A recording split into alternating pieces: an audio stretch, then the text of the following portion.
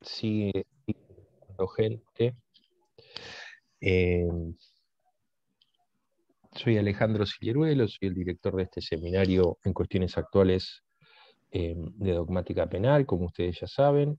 Hoy eh, tenemos un encuentro donde se van a exponer y se van a discutir algunas cuestiones vinculadas a la culpabilidad, específicamente en menores de edad y vinculado al caso argentino, cómo funciona esto, con algunos aportes eh, o lineamientos de cómo podría funcionar.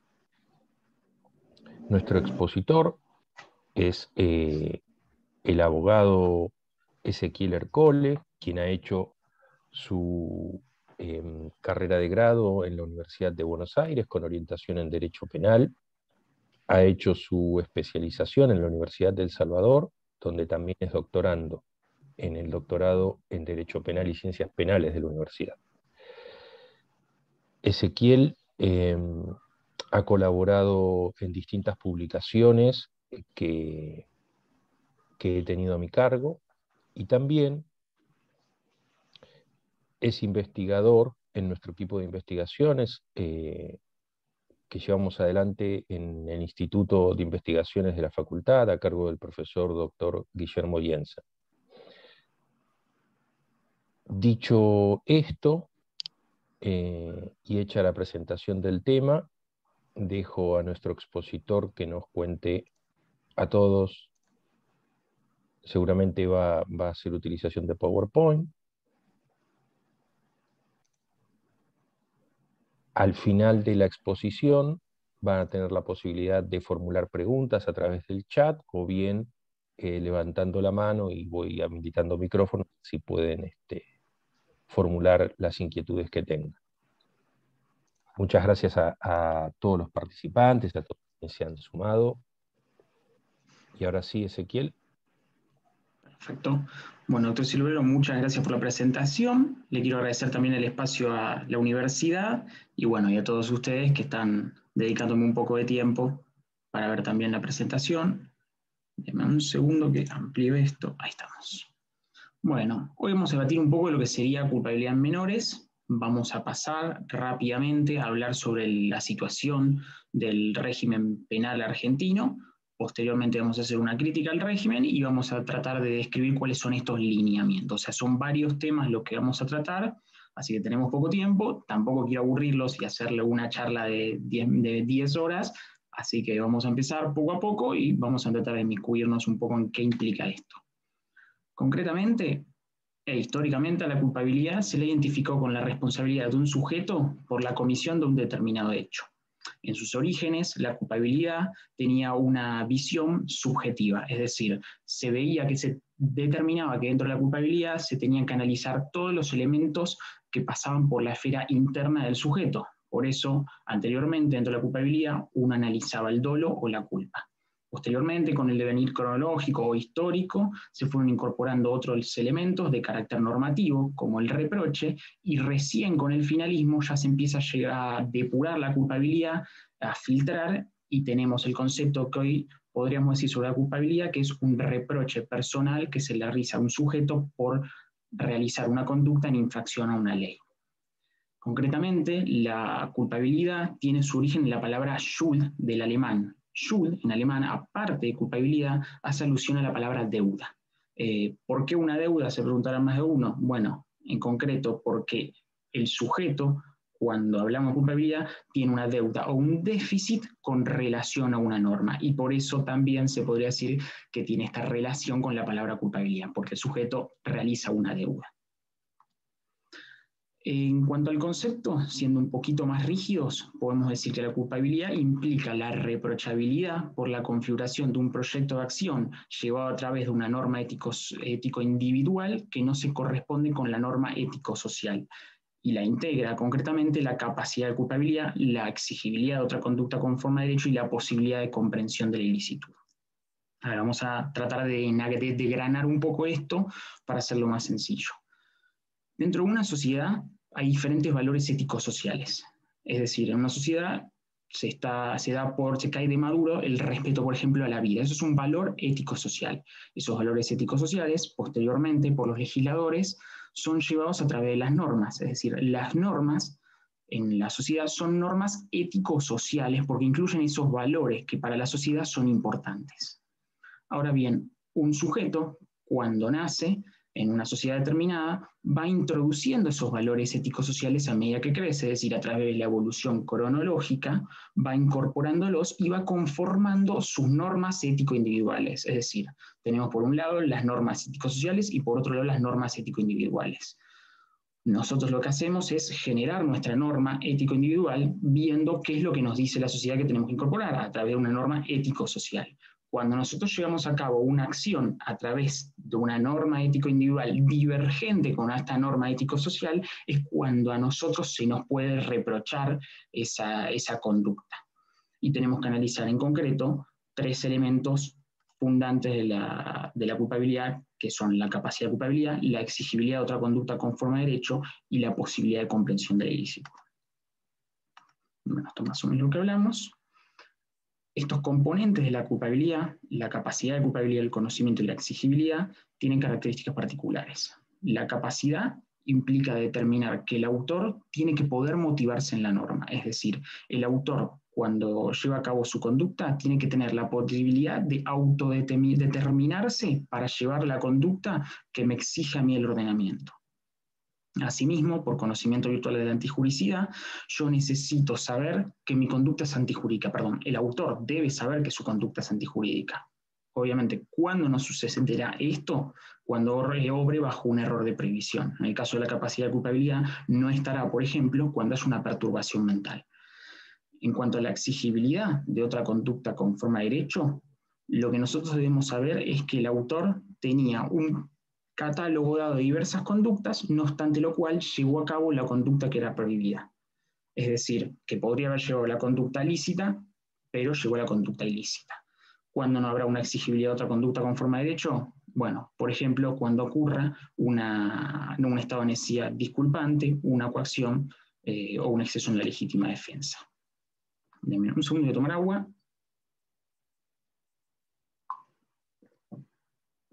Ahora bien, ¿qué sucede en el caso de los menores de edad? Como bien dijimos, estas normas ético-sociales se van incorporando al momento en que uno eh, se integra en la sociedad.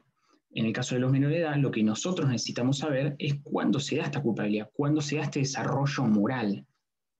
Y en este punto resulta muy importante determinar cuándo eh, es posible que un menor lleve este desarrollo moral y nos viene a dar una ayuda bastante importante la psicología evolutiva. La psicología evolutiva es una rama de la psicología que se encarga de ver cómo es el crecimiento mental o mental del sujeto a lo largo del tiempo. Y en concreto, en el caso del desarrollo, del desarrollo moral, nos dice que hay tres etapas bien diferenciadas en las que se puede llevar a cabo. En una primera etapa, el sujeto lo que hace es incorporar que algo no se debe hacer, pero no porque me lo manda la sociedad, sino porque me lo dice determinada persona. Es el caso, por ejemplo, de los niños, en el cual el padre le dice, no rompas el jarrón. Vos le preguntás al nene, ¿por qué no rompe el jarrón? Porque papá lo dijo. Eso es una etapa, obviamente, originaria del desarrollo moral, pero que no basta para fundar esta capacidad de culpabilidad. ¿Pero por qué estamos hablando de la capacidad de culpabilidad? Porque el problema de los menores reside efectivamente ahí, en la capacidad de culpabilidad, es decir, en esta posibilidad de autodeterminarse. Lo que sucede en los menores es que esta etapa de incorporación de las normas ético-sociales se está llevando a cabo y por ende yo no le puedo eh, pedir lo mismo que le pediría a un adulto. Entonces su capacidad, su culpabilidad, lo que se dice, es disminuida. Tiene una culpabilidad disminuida porque está interiorizando estas normas ético-sociales. Y eso lo que hace es que yo tenga que tener un reproche distinto en relación a estos adultos. Ahora bien, recapitulando, hablamos de esta primera etapa de desarrollo moral, que sea en la niñez, eh, suele estar hasta más o menos los ocho años, y tenemos una etapa intermedia que se halla en la adolescencia. Esta etapa intermedia, el sujeto empieza a tomar estas, estas órdenes o estas normas ético-sociales y ya no las ve como me manda mamá o papá o me manda Juan o Pedro, sino que las empieza a ver como me manda la sociedad. Es decir, yo no robo porque está mal. ¿Por qué está mal? Porque así la sociedad así lo dispone. Esta es una etapa en la cual ya se da un desarrollo de culpabilidad propia de la adolescencia y por eso es importante describirla. A partir de esa etapa es la que es el momento en el cual nosotros podemos decir que hay capacidad de culpabilidad. Es el momento en el cual nosotros le podemos reprochar a un menor, a un adolescente, porque en concreto son los adolescentes, eh, su conducta que infringe una norma. Posteriormente hay una tercera etapa en la cual ya se da un desarrollo de ciertos conocimientos sobre la libertad y la igualdad mucho más avanzado sobre este desarrollo moral que eh, se da más en la etapa alrededor de los 20 años, lo dice la psicología evolutiva, que es más avanzado, pero claramente a partir de la adolescencia ya tenemos esta capacidad de culpabilidad disminuida. Eh, y bueno, en este punto entonces nos corresponde preguntarnos eh, qué, qué diferencia en concreto a la adolescencia o qué nos puede decir a partir de qué momento hasta sea la adolescencia y a partir de qué momento tenemos el parámetro inicial para decir que hay un desarrollo moral. Y en este punto, lo que vamos a decir es que esta etapa es una etapa intermedia entre la niñez y la adultez, en la cual se da un cambio continuo en la identidad, en la que el sujeto lo que hace es preguntarse cuál, qué rol ocupa dentro de la sociedad y se empieza a autodefinir, por decirlo de alguna manera. Para determinar cuándo sea la adolescencia, tenemos dos vertientes importantes que nos va a dar, por un lado, la ciencia biológica y por otro lado, la psicología evolutiva que venimos tratando. En cuanto a la ciencia biológica, nos va a decir que la adolescencia es el periodo que sigue a la aparición de los cambios puberales. En principio, su inicio en el caso de las mujeres va a estar relacionado con la menarquía, con el primer periodo. Y en el caso de los hombres, eh, con el cambio de la voz. Es decir, en el caso de las mujeres esto se va a dar entre los 10 y los 14 años y en el caso de los hombres de los 12 a los 16 su finalización, si bien yo la pongo ahí más absoluta, los 16 en el caso de las mujeres y los 18 en los varones, también tiene un rango de 2 o de 2 años, es decir, 14 a 16 para las mujeres, 16 a 18 para los varones. Nosotros lo importante acá es este inicio, es a partir de cuando para la ciencia sea la adolescencia, nos permite a nosotros indagar a partir de qué momento sea este desarrollo moral. Ahora bien, esto sería el punto de la biología. Ahora, el punto de la psicología evolutiva es mucho más relativo. La psicología evolutiva lo que nos va a decir es que eh, la adolescencia va a depender de ciertos factores culturales y va a ser muy divergente, se trate de un joven, de un menor, perdón, que viva en el continente africano, en Europa occidental en Latino, o en Latinoamérica, como así también del estrato social al que pertenezca. No es lo mismo, por ejemplo, una adolescencia de una clase baja a la de una clase alta. Entonces, su inicio y su final va a ser mucho más amplio y mucho más relativo que el que se da en el caso de la ciencia de la, biología. Y nos va a decir que su inicio en concreto es entre los 6 u 8 años de edad y los 17 o 18, bastante extenso, y que su final se da entre los 15 o 16 años de edad y los 24 o 25. Un segundo. Ahora bien, hemos hablado un poco de qué es la culpabilidad, es decir, este reproche que yo hago por llevar a cabo una norma ético individual, perdón, por llevar a cabo una acción a, a través de una norma ético individual divergente con una norma ético social. Hemos visto cuáles son los elementos, la capacidad de culpabilidad, el conocimiento virtual de la antijuricidad y la exigibilidad de otra conducta conforme a derecho. Hemos visto que el desarrollo moral se da a partir de la adolescencia. Hemos visto la diferenciación de cuándo sea la adolescencia para la ciencia biológica, como para la psicología evolutiva, aspectos que vamos a hablar en lo sucesivo, y nos resta determinar entonces qué ha hecho el ámbito jurídico para saber cuándo sea esta capacidad de culpabilidad. Y en ese sentido, hay tres teorías, en concreto dos. Una es una teoría mixta entre ambas, que trata de determinar eso. El sistema del discernimiento eh, lo que nos dice es, bueno, yo voy a averiguar si hay capacidad de culpabilidad caso por caso. Yo tengo que ver al menor en determinada instancia para ver si tenía la capacidad de culpabilidad al momento de cometer ese hecho. Lo que va a decir es, me voy a basar para eso obviamente, como venimos hablando, como venimos hablando, de una pericia psicológica, a ver si el sujeto se podría haber motivado en la norma.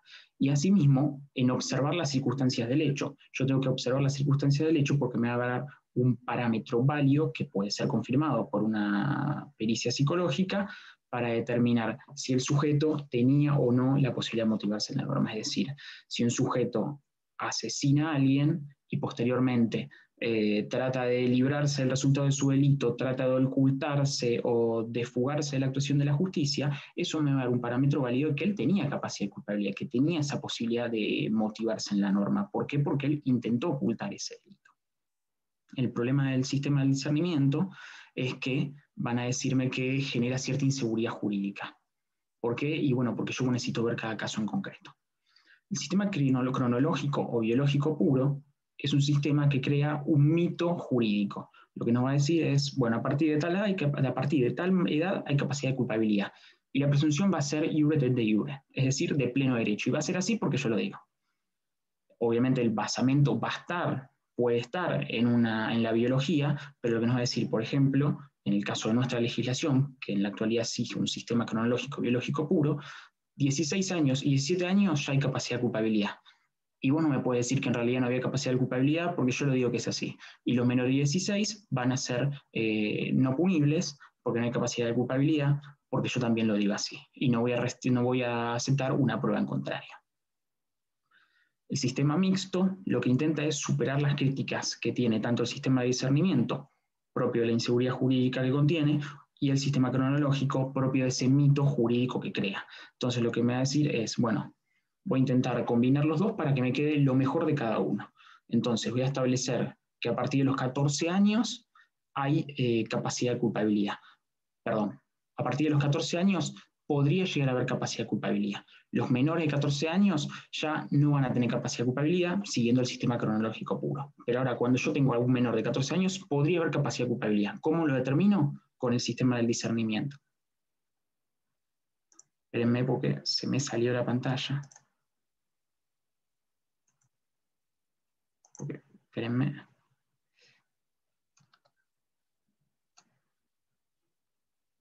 Ahora bien,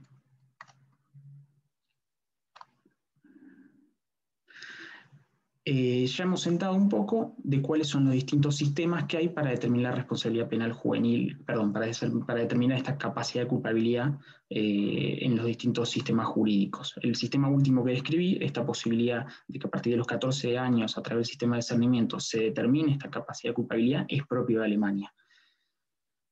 Eh, Ahora bien, en cuanto al régimen penal juvenil de la Argentina, debemos decir que de ninguna manera se, respeta lo que sería esta capacidad disminuida de culpabilidad que presentan los menores de edad. ¿Por qué? Porque, bueno, históricamente está muy emparentado con el positivismo criminológico. Eh, desde el año 1880 hasta 1960, en la República Argentina hubo una influencia muy marcada en los ámbitos del derecho penal del positivismo criminológico eh, tanto en su fase antropológica como sociológica, es decir, lombrosiana eh, como propia de Ferri. Obviamente eso estuvo ayudado porque en 1908 y 1910 vino Ferri al país, eh, pero no tuvo un correlato directo esta influencia en la legislación de fondo de nuestro país, porque el Código Penal argentino logró mantenerse lo más objetivo posible. Y de tal manera consiguió tener un código que hoy en día podemos amoldarnos amoldarlo tanto en, una, en el causalismo, en el finalismo o en el funcionalismo. O sea, eso es un plus que tiene nuestro código. Pero eh, el positivismo criminológico sí logró la aprobación de la ley de patronato del Estado, que sería la ley Agote.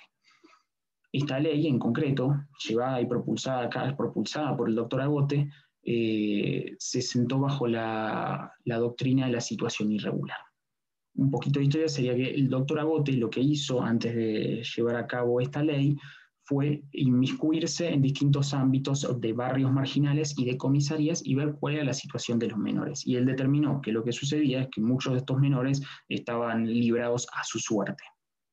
Entonces, siguiendo esta doctrina de la situación irregular propia del positivismo criminológico, eh, se dio origen a esta ley 10.903. esta ley de 1903 lo que dice en concreto, en su artículo 21, perdón, decía en concreto, porque ahora vamos a hablar un poquito más, que se entenderá por abandono moral o material o peligro moral la, incitación por los padres, tutores o guardadores a la ejecución por el menor de actos perjudiciales a su salud física o moral, la mendicidad o la vagancia por parte del menor, su frecuencia a sitios inmorales de juego o con ladrones o gente viciosa o de mal vivir, o que no habiendo cumplido 18 años de edad vendan periódicos, publicaciones u objetos de cualquier naturaleza que fueren en las calles o lugares públicos, cuando en estos sitios ejerzan lejos de la vigilancia de sus padres o guardadores o cuando sean ocupados en oficios o empleos perjudiciales a la moral o la salud.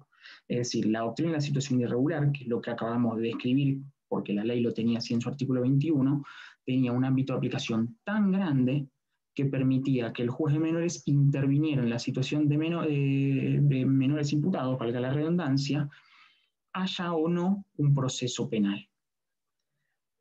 En concreto, esta ley fue complementada por la ley 14.394, que derogó en el Código Penal lo relativo a los menores de edad, el Código Penal nuestro 1921, si bien se mantuvo en lo mayoritario ajeno al positivismo criminológico, en su artículo creo que 36 o 37, sí adhería a la situación irregular en el caso de los menores de edad. La ley 14.394 derogó este artículo del Código y complementó la ley Agote y siguió en lo sucesivo la ley 2278 lo que decía la ley 14.394, 14.394. La ley 2278 derogó la ley 14.394 y pasó a ser la ley complementaria de la ley Agote, la 10.903. Posteriormente, esta ley Agote fue derogada al entrar en vigencia la ley 26061, que en un ratito vamos a comentar, y en la actualidad tenemos una combinación entre la ley 2278, siendo una locura que es una ley complementaria a una ley derogada que hoy en día esté vigente, porque la ley 2278 está vigente y era en su principio una ley complementaria, y la ley 26061, que es una ley que trató de introducir en nuestro ámbito nacional la Convención de Derecho del Niño con los principios y, garantías que ahí se pregonan. Ahora bien, en cuanto a la ley del régimen penal juvenil de la Argentina, eh, la ley 2278, tiene una naturaleza jurídica intrínsecamente tutelar y proteccionista. Eh, obviamente, siguiendo esta doctrina de la situación irregular, la cual es en alguna manera una línea eh, directa desde la ley 10.903, se establece una diferenciación entre menores punibles y no punibles lo ilógico es que esta ley hace eh, uso de la palabra punibilidad cuando en realidad lo correcto sería hacer referencia al estrato analítico de la culpabilidad, es decir, tendría que ser menores imputables o inimputables. Pero bueno, haciendo referencia a la ley vamos a mencionarlo como menores punibles o no punibles. Un segundo.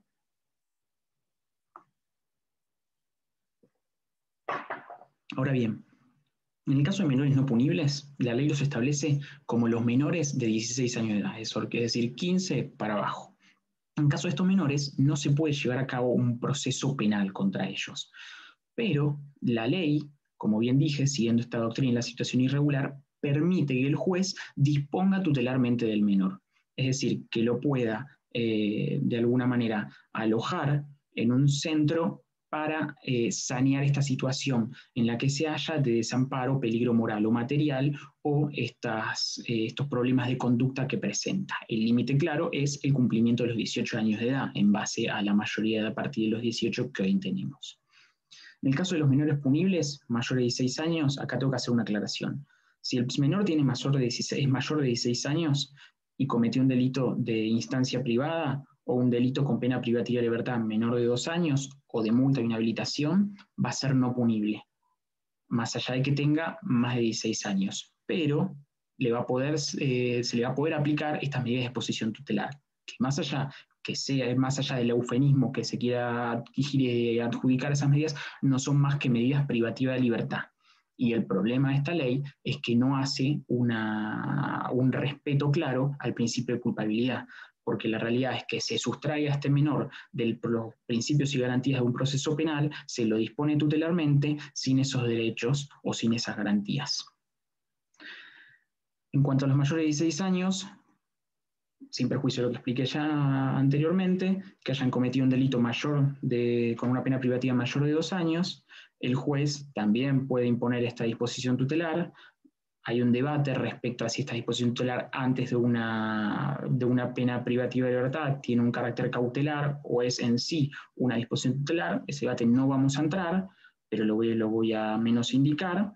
Eh, lo que va a poder hacer el juez es tener también las mismas medidas para poder eh, sanear en el mientras tanto al menor de esta situación irregular y posteriormente lo que va a poder es en base a la facultad que le confiere el artículo 4 de la ley 2278, dictar sentencia o condenar al menor a una pena privativa de libertad. Pero, previo a ello, tiene que cumplir con tres requisitos. Primero principal, que el menor haya cumplido 18 años de edad.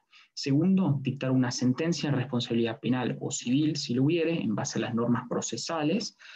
Y tercero, eh, que el menor eh, haya tenido por lo menos un año de disposición o de tratamiento tutelar. En base a eso, el juez lo que puede hacer es imponerle una pena y aparte le da la posibilidad de que esa pena sea la correspondiente al delito de tenta, del delito tentado. Es decir, si le hubiera cometido un delito de robo, puede imponerle el juez la pena correspondiente al delito de tentativa de robo.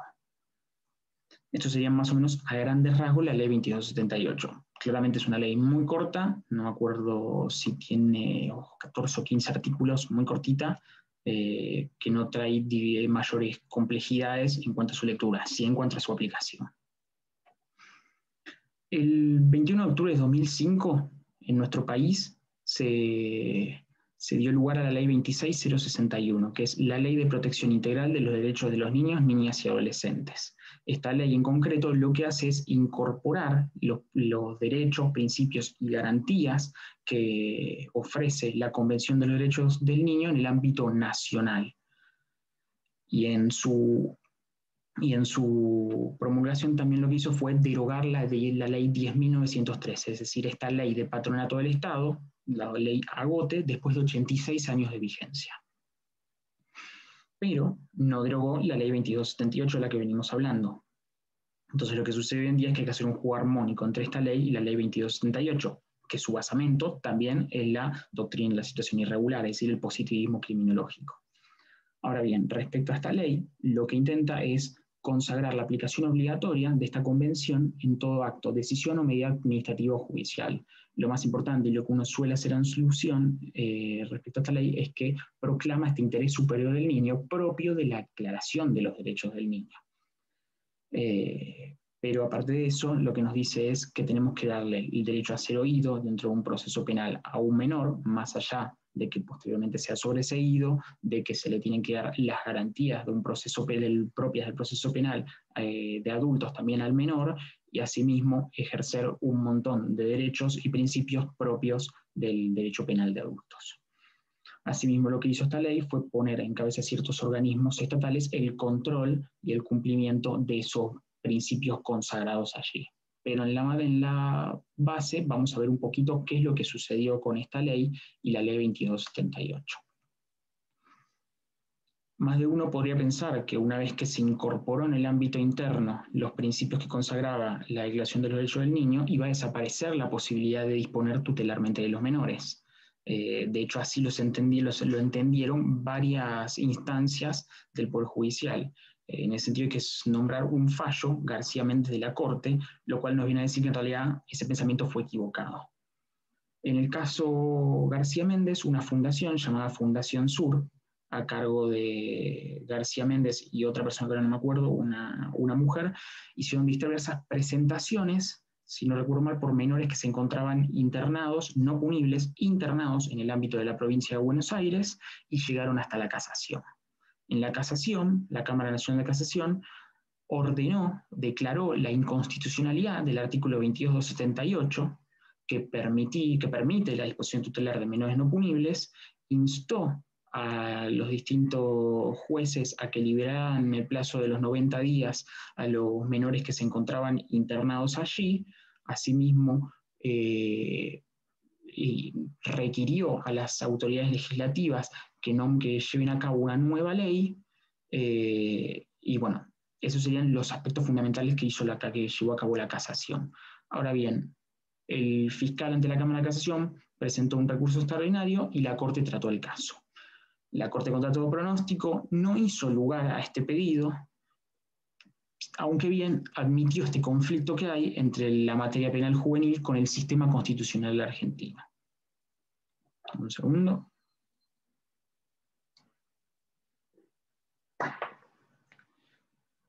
Eh, concretamente lo que dijo es que no es posible declarar la inconstitucionalidad de la norma, haciendo referencia a la ley 2278, porque ello implicaría inmiscuirse en competencias que son ajenas a la función judicial. Es decir, parecería que la Corte nunca declaró la inconstitucionalidad de una norma en base a lo que sucede en este fallo. Además, agregó que está vedado a los órganos judiciales dictar sentencias con carácter norma general, porque lo que estaba haciendo la Cámara de Casación al ordenar la liberación de los menores y al tratar de contemplar eso con la ley 22, 26061, es decir, contemplar la ley 2278 en combinación con la ley 26061, lo cual a su parecer vedaba la posibilidad de disponer tutelarmente de los menores no punibles, era crear una norma, una norma pretoriana nueva y diferente a la anterior. Entonces lo que le dijo es, mira casación, vos no podés crear normas con carácter general como intentaste hacer acá. Por otro lado, eh, puso que si bien comprendía cuál es la situación de los menores no punibles, si nosotros eh, combinamos la ley 2278 y la ley 26061, lo que se logra hacer es en realidad proteger integralmente a los menores con esa disposición tutelar, dice la, Corte. Y si nosotros le sacamos esa herramienta a los jueces, lo que vamos a hacer es generar una mayor eh, situación de vulnerabilidad de los derechos. Es decir, nos dicen en García Méndez la Corte que la disposición tutelar de los menores no punibles implica una protección de los derechos y su interés superior conforme manda la Declaración de los Derechos del Niño. A pesar de todo lo dicho, dice, bueno, acá tiene que haber una nueva norma, pero la tiene que hacer el Poder Legislativo en un plazo razonable. Por eso yo, Poder Legislativo, te insto a que lo hagas. Claramente esto fue en el 2008, estamos a 2021 y todavía seguimos aguardando eso. Y bueno, esto de vuelta también remarco que la ley 2268 no debe ser interpretada en forma aislada, sino en conjunto con el resto del ordenamiento jurídico. En este punto yo lo que hice fue preguntarme, bueno, quiero ver cuáles datos eh, me brinda a mí eh, la, si la estadística o puedo recopilar algún dato que me brinde si es verdad con posterioridad a la ley de protección integral de los niños, es decir, la 26061, la derogación de la ley eh, de patronato de liberados y el fallo García Méndez, hubo un cambio en la, concepción que se tenía sobre la disposición tutelar de menores no punibles. Lamentablemente, los datos de que hay en la BGD no me permitían hacer eso eh, con anterioridad al año 2010. Hoy en día han mejorado, sus estadísticas han mejorado, los relevamientos que hacen, y tomé un informe muy importante que han hecho hace poquito, del que comprende los años 2010 a 2019, la BGD, perdón, no ha explicado, es la base general de datos de niños, niñas y adolescentes de la Corte Suprema de Justicia, lo que hace es recopilar datos estadísticos de las intervenciones tutelares de los menores y de las causas en las cuales intervienen menores, y concretamente de este informe he podido observar que en este transcurso del 2010 a 2019 hubo 13.734 intervenciones tutelares y que de esas intervenciones solamente 2.873 implicaron medidas de privación de libertad, es decir, de disposición tutelar. Lo correcto son medidas de disposición tutelar. Yo creo que para mí es un eufemismo esto porque son medidas de privación de la libertad y que esas medidas tuvieron un promedio de 51 días de alojamiento de los menores. Ahora bien, respecto a los menores no punibles, solamente el 21,4 de los casos representó eh, estas situaciones, es decir, 614 casos. En concreto, de 13.734 intervenciones, solamente 614 casos correspondieron a internación o a disposición tutelar de menores no punibles en un centro, eh, en un centro que implicaba privación de la libertad. Lo que me lleva a suponer que hubo dividiendo en promedio, 60 disposiciones tutelares anuales sobre menores no punibles durante esos años, algo que al menos en mi subjetividad no me parece mucho, porque en base a todo lo que venimos hablando, eh, podría uno suponer que hay un uso a troche y moche de esta posibilidad. La realidad es que no que las distintas judicaturas, tanto en instancias superiores como instancias inferiores, han, han podido aplicar razonablemente los lineamientos, han podido coordinar la ley 2278 con la ley 26061 y han podido eh, hacer uso de las herramientas que eh, afirmaba el fallo García Méndez. En lo personal, creo que es necesaria una, una reforma pero parece interesante al menos ver que no se hace un uso a demasía de estas posibilidades que brinda, que brinda la ley 2278 sobre los menores no punibles. Ahora bien, llegado a este punto, quiero hacer algunas críticas al sistema tutelar argentino.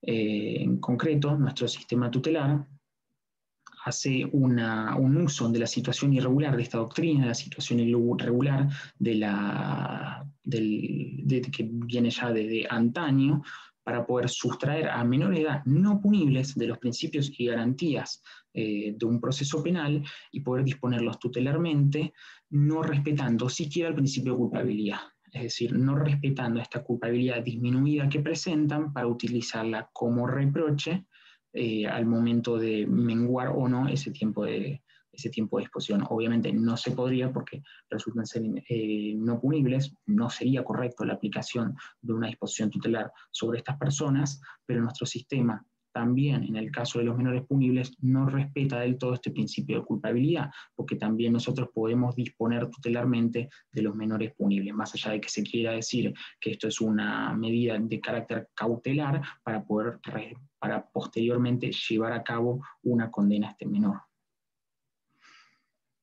Tengo, para mí, en lo personal, creo que en nuestro sistema, a partir de los 16 años de edad, ya se da la mayoría de edad porque a partir de los 16 años de edad el juez ya puede aplicar la misma pena que le corresponde a un adulto a un adolescente. A partir de los 16 años yo ya le puedo poner un, más allá de lo que me puedan decir que ha dicho la Corte, puedo poner una prisión perpetua a un menor por un homicidio a partir de los 16 años.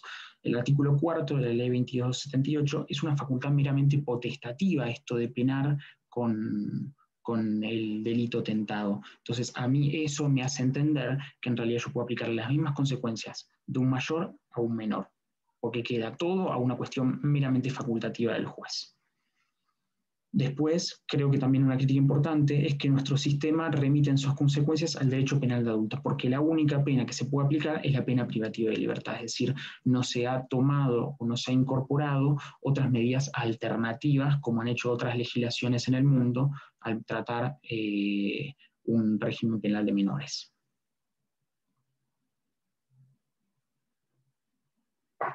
Y por último, si bien la lista podría seguir todo el día y podríamos hacer una charla especial criticando este sistema tutelar argentino, eh, podríamos decir que no se respeta tampoco el principio de mínima intervención penal que debe obrar en la causa en los casos de menores de edad. Es decir, el derecho penal no puede aplicar sin más todo su catálogo de respuestas ante todas las acciones que podrían infringir una ley por parte de los menores. Esto tiene que ser menguado y tiene que ser o progresivo o acotarse a, a un catálogo más disminuido de situaciones. Esto es a modo ilustrativo.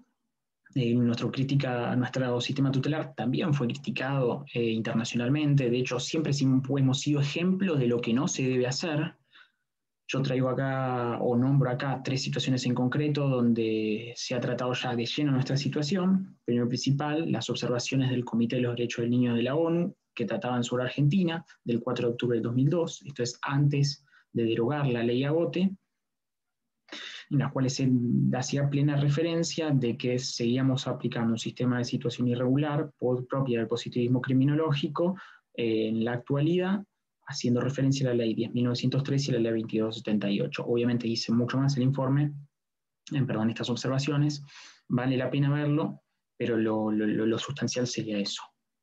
En cuanto al informe 172 del 10 y el caso Mendoza contra Argentina, se habla un poco de, de que nosotros somos eh, los líderes mundiales en aplicar la prisión perpetua en caso de menores de edad. Eh, sin más y sin posibilidad de revisión.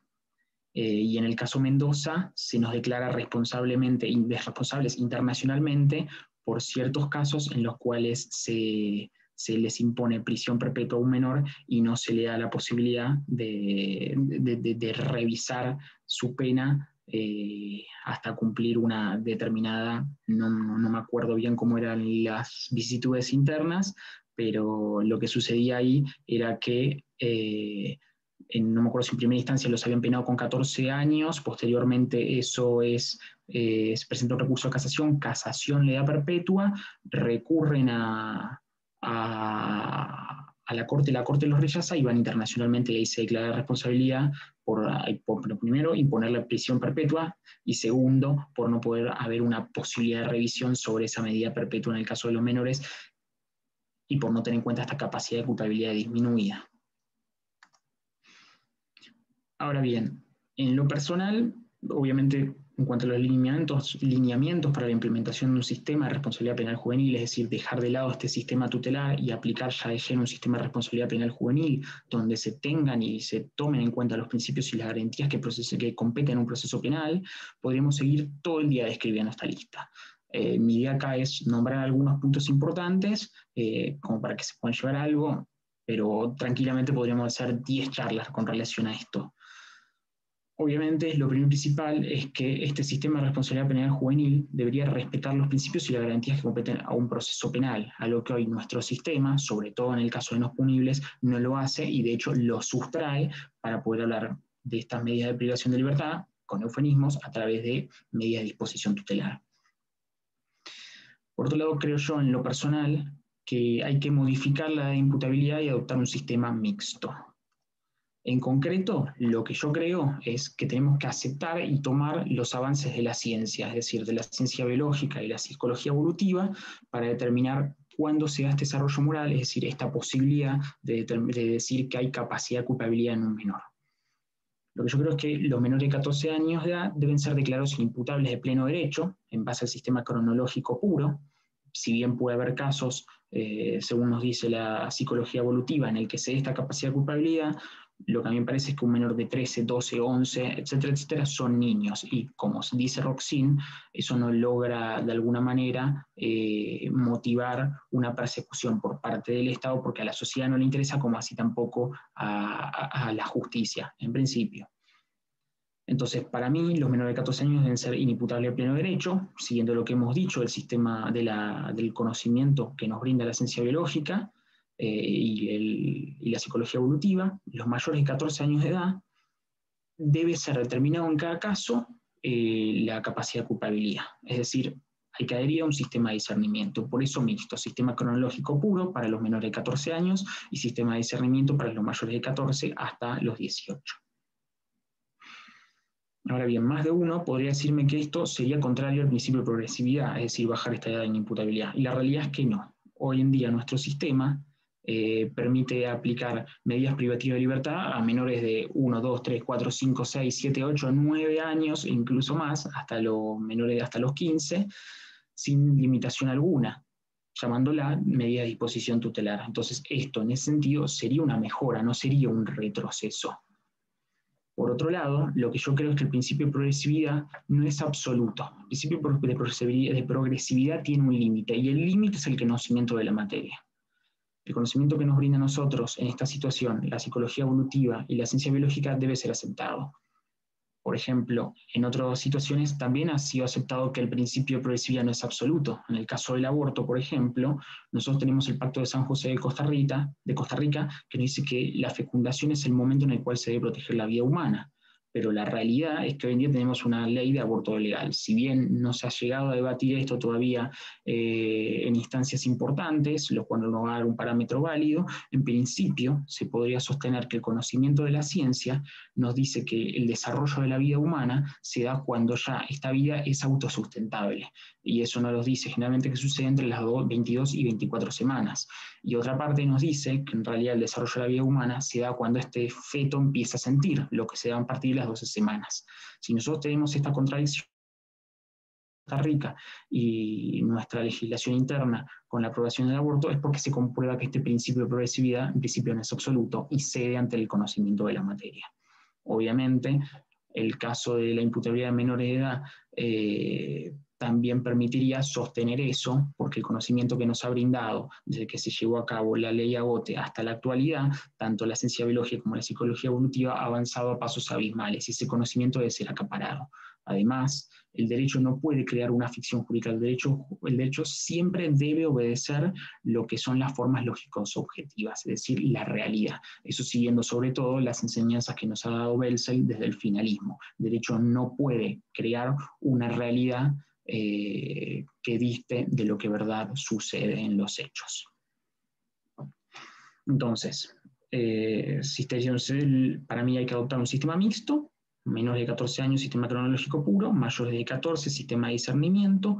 Eso no sería contra el principio de progresividad, porque este principio no es absoluto, su límite es el conocimiento, porque es una evolución en relación a la legislación anterior, es decir, a la ley 2278, si se llega a implementar esto, eh, sería una evolución en relación a esa ley, y porque, bueno, no, perdón, hasta ahí, hasta ahí serían los dos puntos fuertes en esta situación. Ahora bien, aparte, un lineamiento claro que debe haber es que debe haber una diferenciación que no se ha llevado a cabo entre aquellos menores que se encuentran en situación de riesgo y desamparo de aquellos que cometen una infracción penal. Hoy en día en nuestra legislación esto, esto se encuentra todo mezclado, por eso los menores que se encuentran en una situación de riesgo o desamparo también deben ser, eh, deben ser, deben ser perdón, en esos casos también debe entender un juez penal. Esa diferenciación es una diferenciación que sí o sí se tiene que llevar a cabo en lo próximo, porque nosotros, desde, perdón, el juez desde lo penal no puede entender en casos tan delicados como podría ser una situación de riesgo y desamparo que resulta ser materia propia de un juez civil o de familia. Eh, obviamente creo también que deben implementarse medidas alternativas a la pena privativa de libertad. Y en este punto me parece muy avanzada la legislación que ha llevado España. España, a través de su ley orgánica reguladora de la responsabilidad penal de los menores de, edad, ha dado una batería linda de medidas que merece ser copiada. Un segundo. En ese sentido, España permite al juez que entienda en un caso de responsabilidad penal juvenil que aplique un internamiento en régimen cerrado, semiabierto, abierto, un, internamiento terapéutico en régimen cerrado, semiabierto y abierto, un tratamiento ambulatorio, asistencia a un centro de día, una permanencia de fin de semana, una libertad vigilada, una prohibición de aproximarse o comunicarse con la víctima o con aquellos eh, familiares o personas que determine el juez, la convivencia con otra persona, familia, grupo educativo, prestaciones en beneficio de la comunidad, realizaciones de tareas socioeducativas, una amonestación simplemente, o puede ser que se lo prive de un permiso de conducir eh, un determinado vehículo, o bueno, esto ya es algo muy propio de España, de licencias administrativas para casa o uso de cualquier tipo de arma, sobre todo por sus cotos de casa, o una, inhabilitación absoluta para ejercer un cargo determinado o cualquier otra manera. Entonces, este régimen o esta batería de medidas se debe implementar y se le debe poder dar al juez eh, la posibilidad de usarlas de manera progresiva.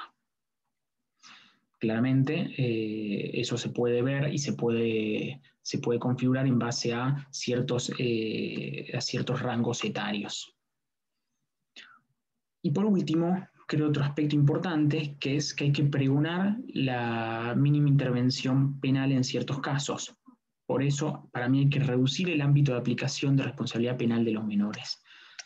Y acá nuevamente nos viene a dar una, muy, una ayuda muy grande la base general de datos con sus estadísticas. En ese sentido, del año 2010 a 2019, vuelvo a tratar este informe por resultar el más completo, eh, se analizaron 18.473 causas eh, seguidas contra menores de las cuales un 81% correspondió a delitos contra la propiedad, específicamente robos y hurtos, un 7,6% a delitos contra las personas, un 1,85% a delitos contra la identidad sexual, un 1,40% a delitos contra la libertad y un 0,75% a delitos contra la seguridad pública. Entonces, teniendo en cuenta que esos son los delitos que suelen cometer los menores, no parece ilógico sostener que se acote ese ámbito de aplicación del derecho penal juvenil a esa clase de delitos. Obviamente estos son una suerte de lineamiento, lo que puede venir a posterioridad puede ser, eh, perdón, pueden establecerse muchísimos lineamientos más. Eh, si nosotros tenemos que hacer eso, nos quedamos a dormir directamente acá. Pero bueno, hasta acá quedaría mi exposición. No sé si hay alguna pregunta. Estoy abierto a responderlas.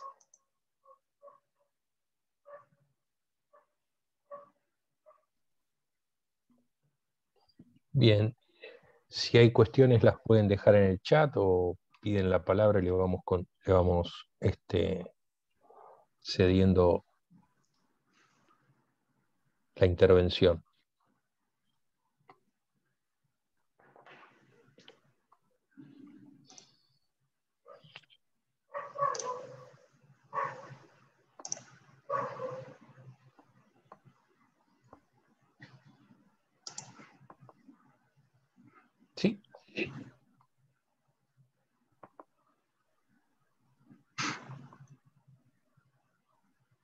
Eh, Ezequiel.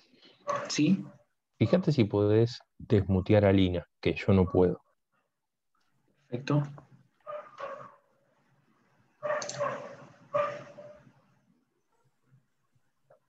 Ahí está. Ahí está desmuteado. Hola, buenas tardes. ¿Me escuchan? Sí. Hola Ezequiel, muy buena tu exposición. ¿Cómo estás, Lina? Gracias.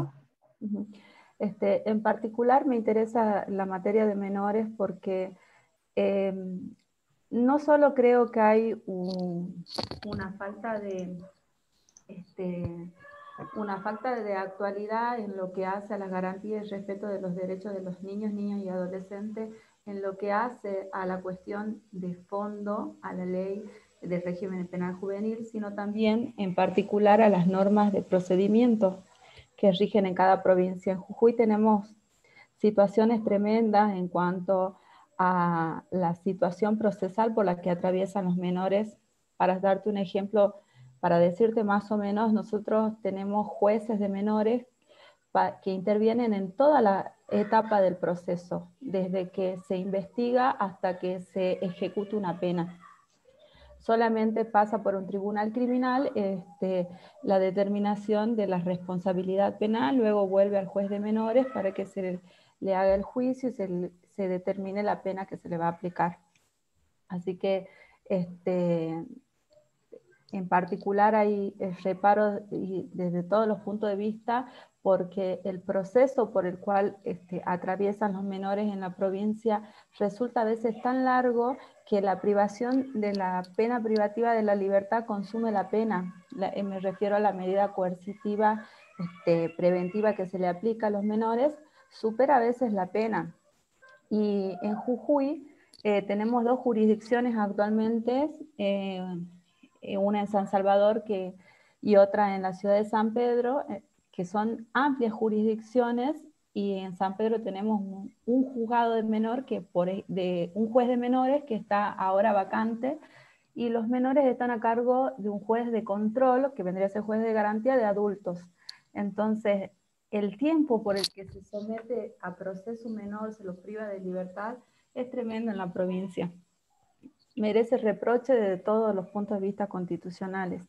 A mí me interesa sobre todo que se avance en el tema de la reforma de la aplicación de, este, de la justicia terapéutica. Vos no crees, vos no tenés una experiencia, hablaste y expusiste del sistema español que me parece que permite la aplicación de medidas terapéuticas, sobre todo para empezar a replantearse la función que tiene la pena, porque acá en el, en el caso de los menores se ve la función represiva solamente de la pena, nunca la función de resocialización, que quizás sea una utopía, pero sí de replantearse esto, de decir, ¿para qué imponemos una pena a una, a una persona que está en formación? ¿Por qué un menor, que es una persona en formación, ha llegado a cometer un delito? Seguramente, este, si nosotros nos preguntamos en cada caso particular, si el juez que juzga a ese menor se pregunta cuáles son las razones para que una persona de corta edad llegue a delinquir, se va a encontrar con un abanico de posibilidades tremendo que a veces este, decimos eh, qué, qué repro reproche podemos hacerle a esta persona y analizar la culpabilidad.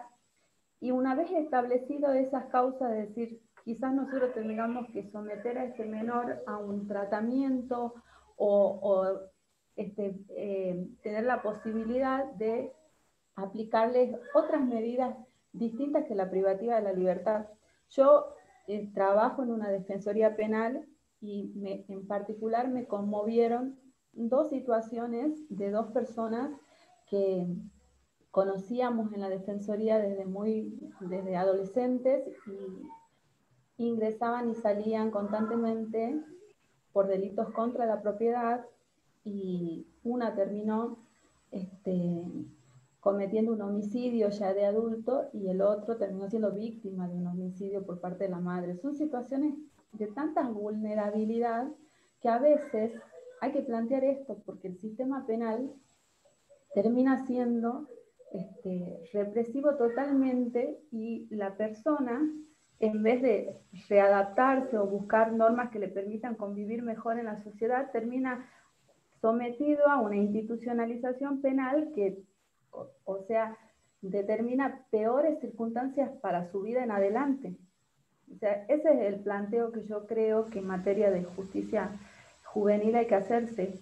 ¿Qué tipo de medidas, una vez que establecemos la responsabilidad del menor, lo privamos de su libertad o tratamos de aplicarle una medida terapéutica? No, obvio, yo, eh, eh, no, no, yo en eso comparto, comparto, eh, por eso trato un, traje, un traje, perdón, por ejemplo, el derecho comparado, sobre todo la legislación española, porque para mí muchas situaciones, por ejemplo, se pueden resolver indagando sobre cuál es la situación de este menor, sobre todo sobre la patria potestad, es ver si de verdad tiene, si los padres son padres presentes, si se le está dando alguna clase de tratamiento, si tiene alguna adicción a las drogas, y en esto no falla solo la justicia eh, al no tener las herramientas claras, sino que fallan los organismos de control, porque eso es relativamente lo que falla. Por ejemplo, nosotros acá en la ciudad tenemos algo que se llama el CADINCHAUSTI, Centro de Admisión y Derivación. Generalmente esos organismos hacen un informe y en base a eso el juez decide qué posición tomar o qué hacer con ese menor. La realidad es que el CADINCHAUSTI siempre te presenta eh, que el menor está a 10 puntos, o sea, el pibe es un pan de Dios. Y cuando te pones a rasgar un poquito ese informe, te das cuenta que en realidad la madre trabaja todo el día, se desentiende de ese menor, no le interesa tampoco eh, tener que educar a ese menor, el padre falleció, el pibe tiene capaz 15 años y está viviendo solo, eh, entonces todas esas situaciones no falla la justicia capaz, que si bien estaría bueno tener una batería de medidas, conforme a lo que dije, sino que también los organismos administrativos que pueden o no darle una respuesta al menor. En ese sentido también falla, por ejemplo, eh, la, bueno, voy a decir el SENAF, la Secretaría de, Niñez, eh, también al momento de, de, tratar de acompañar al menor o ver cuál es la falencia que tiene que haya sido, que haya llevado a que cometa un determinado delito. Sí, también pasa por los operadores del sistema muchas veces. Porque eh, nosotros tenemos este, normas internacionales que estamos obligados a observar, porque más allá de los reparos constitucionales que se le puede hacer a la ley de régimen penal juvenil o a los códigos de procedimiento, también este, no, hay muchas situaciones en las cuales no amerita aplicarle ni siquiera una medida preventiva este, de prisión preventiva a un menor yo considero que en el caso de los menores, la prisión preventiva es totalmente inconstitucional. En el caso de los menores, ¿sí?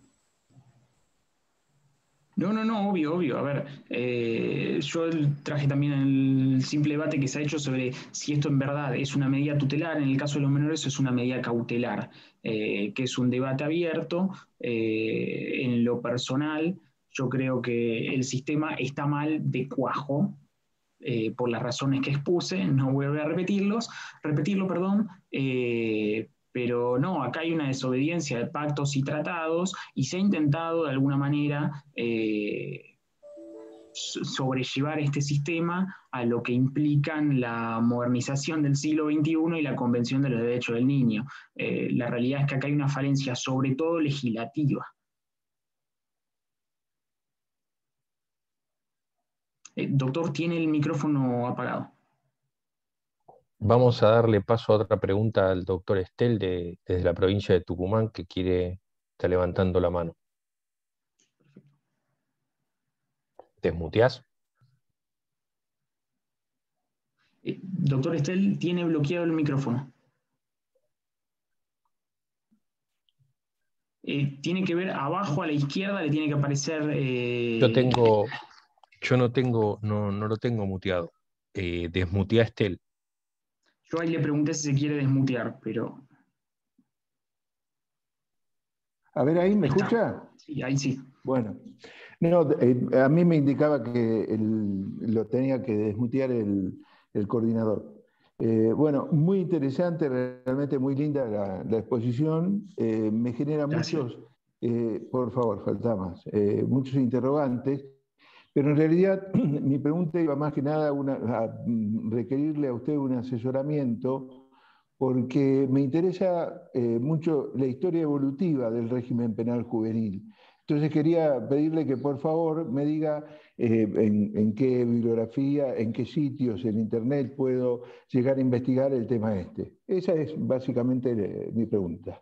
Bueno, para mí hay una autora que en lo que sería Derecho Penal Juvenil es innegable, que es Mari Belov, pero si lo que usted quiere es algo más histórico, eh, no me acuerdo el nombre del libro, pero Crivelli, C-R-I, B corta E L L I, tiene un libro que no tiene desperdicio eh, desde lo histórico y del derecho comparado, porque trata mucho el derecho también español. Es la tesis doctoral. hay, sitios en Internet en donde pueda investigar un poco este tema? Eh, a mí, me, interesa establecer... No, y sitios, sitios en Internet, lo que puede ver si quiere una postura un poco más crítica, capaz que sería pensamiento penal, eh, que tiene algunas cosas de, menor, eh, de menores. Claro. Bueno, bueno, le, le, agradezco mucho, doctor. No, por favor. Gracias, doctor. Bien, ¿alguna pregunta más? ¿Alguna cuestión más? Ya saben, o a través del chat, o, bien levantan la mano y facilitamos la palabra. Bueno, si no hubieras más cuestiones, em, creo que el tema que presentamos hoy, que presentó el doctorando acá, Ezequiel Ercole, es un tema de actualidad en la República Argentina, como bien él lo reflejó, eh, tenemos dos situaciones sumamente delicadas con esto. La primera es que no tenemos una ley de fondo. Esta es la primera cuestión. Y la segunda cuestión es que por nuestro régimen federal, y esto no es una crítica, valoro sobremanera nuestro régimen federal, eh, cada provincia va adoptando, Ciudad Autónoma de Buenos Aires incluida, va adoptando una serie de cuestiones. Y por ejemplo, en la provincia de Buenos Aires o en Jujuy, como planteaba Lina, se aplican prisiones preventivas, eh, un instituto bien propio de lo que es eh, la, justicia de mayores, a personas menores de edad como una forma de regularizar la situación de detención cuando nosotros tenemos vigente aún un régimen tutelar. Esta cuestión que planteaba Ezequiel sobre la ley 22.278, que dejó supérstite lo que se denomina situación irregular, es decir, el famoso caso de los menores en desamparo material o moral que dice la ley, es decir, menores que no han cometido ningún tipo de delito, sino más bien que están sufriendo una situación de abandono,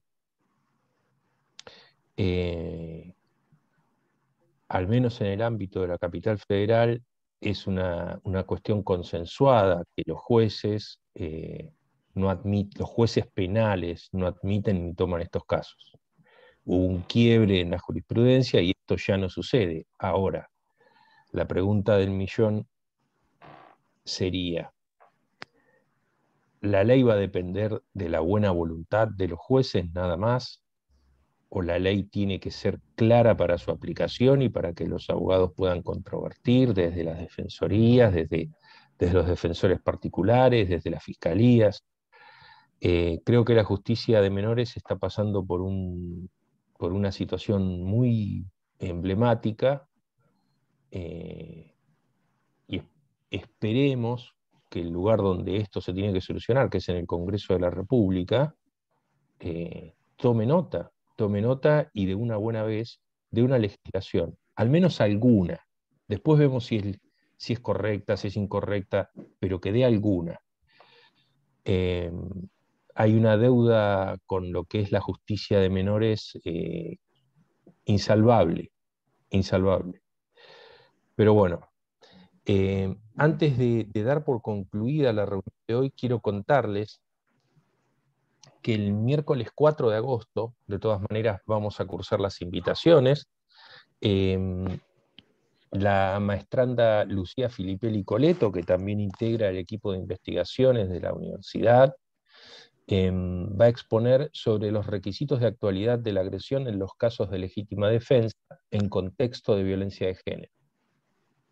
Un tema también que va a traer, espero, debate y es un tema de actualidad. Yo quiero agradecerles eh, a todos la presencia. Acá veo al doctor eh, Alberto Castel, que es también em, del Instituto de Investigaciones de la Universidad. Quiero agradecerle especialmente que haya, que haya estado y a todos quienes han participado. Em, nos vemos entonces en el próximo encuentro, si es que les parece oportuno. Eh, felicitaciones Ezequiel, muy buena la exposición y con datos que a veces eh, todos estos temas se hablan, pero faltan eh, los datos. Eh, suele, suelen, magnificarse situaciones que cuando nosotros vamos a las fuentes verificamos que en realidad se magnificaron nada más. Bien, que tengan buenas tardes y nos vemos la, la vez siguiente. Chao. Gracias por todo.